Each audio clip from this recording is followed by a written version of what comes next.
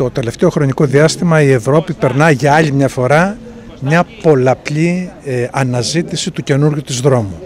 Μετά τη συμφωνία Όκους των Ηνωμένων Πολιτειών με την Μεγάλη Βρετανία και την Αυστραλία, την αποχώρηση των Ηνωμένων Πολιτειών από το Αφγανιστάν, έγινε πια σαφές ότι μετατοπίζεται το αμερικάνικο ενδιαφέρον προς την Νοτιοανατολική Ασία. Άρα η Ευρώπη πρέπει να κανονίσει τα του οίκου της, που σημαίνει ότι πρέπει να προσδιορίσει ένα νέο τρόπο ε, ε, λειτουργίας της στο παγκόσμιο γίγνεσθε, διότι πια η ήπια ισχύς που μέχρι τώρα υπάρχει δεν επαρκεί, δεδομένου πια ότι τα πράγματα είναι άγρια στην ευρύτερη περιοχή μας. Η πρόσφατη συμφωνία της Ελλάδας με τη Γαλλία και η ρήτρα αμοιβαίας ε, συνδρομής σε αμυντικά θέματα θεωρώ ότι είναι ένα πολύ σημαντικό βήμα κατά τη γνώμη μου μπορεί να είναι και το πρώτο βήμα στη διαμόρφωση μιας ευρύτερης ευρωπαϊκής στρατηγικής ενιαίας συνεργασίας στα θέματα της εξωτερικής πολιτικής και της άμυνας. Μακάρι η Ελλάδα να είναι από τις πρώτες χώρες που υλοποιεί αυτό, αυτή την στόχευση.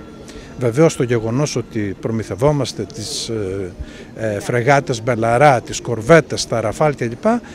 δίδει νέα διάσταση πια και θεωρώ ότι στέλνει ένα σαφές μήνυμα στην Τουρκία ότι πια οι κόκκινες γραμμές είναι πολύ πιο ορατές από ό,τι στο παρελθόν. Σε σχέση τώρα με τις γερμανικές εκλογές, αν με ρωτούσατε ποιο είναι το πιο ενδιαφέρον χαρακτηριστικό, είναι το εξής. Καταρχήν ξέρουμε όλοι ότι η γερμανική κυβέρνηση, όποια και να είναι, θα προασπίζεται προφανώς τα συμφέροντα του γερμανικού λαού, του γερμανικού ε, κράτους. Σε κάθε περίπτωση όμως αυτό που έχει ενδιαφέρον είναι ότι η νέα γενιά ψήφισε κυρίως πράσινους και φιλελεύθερους.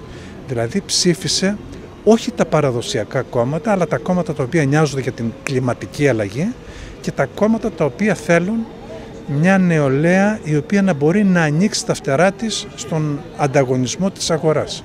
Αυτό θεωρώ ότι είναι ένα ενδιαφέρον μήνυμα που σίγουρα ακουμπά και την νεολαία της πατρίδας μας. Εγώ τώρα στο Πανεπιστήμιο με την ιδιότητά μου πια του ακαδημαϊκού την βλέπω πολύ έντονη και θεωρώ ότι πρέπει να προβληματίσει όλα τα παραδοσιακά κόμματα. Μακάρι οι εκλογές οι οποίες έγιναν στη Γερμανία και αυτές που θα γίνουν και στη Γαλλία να φέρουν ηγεσίες και κυβερνήσεις οι οποίες θα πιστέψουν βαθιά για άλλη μια φορά στο όραμα της Ενωμένης Ευρώπης γιατί είναι η μόνη λύση ώστε αυτή η γωνιά του πλανήτη που είναι το σπίτι μας να αποκτήσει και μία ισχύ η οποία εκτός από οικονομική ισχύ θα της προσδώσει και ισχύ σε ζητήματα γεωστρατηγικής και γεωπολιτικής σημασίας. Η στάση της Τουρκίας πώς την κρίνεται; Η Τουρκία είναι μία απίστευτα και διαρκώς και προκλητική προκλητικά ενεργούσα παράνομη χώρα η οποία παραβιάζει όλες τις αρχές του διεθνούς δικαίου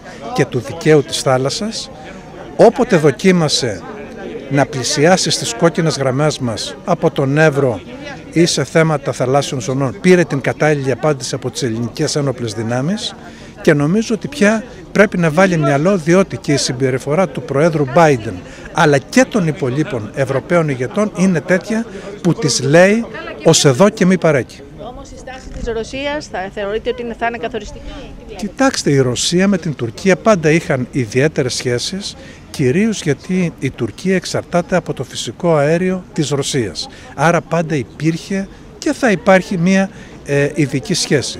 Από εκεί και πέρα η Ρωσία είναι μια υπερδύναμη, προφανώς κοιτά συνολικότερα τα δικά της συμφέροντα και νομίζω ότι έχει πλήρη εικόνα του τι πρέπει να γίνει για να υπάρξει ειρήνη και ασφάλεια στην Ανατολική Μεσόγειο έτσι ώστε όλα αυτά να είναι προς όφελος των λαών της περιοχής.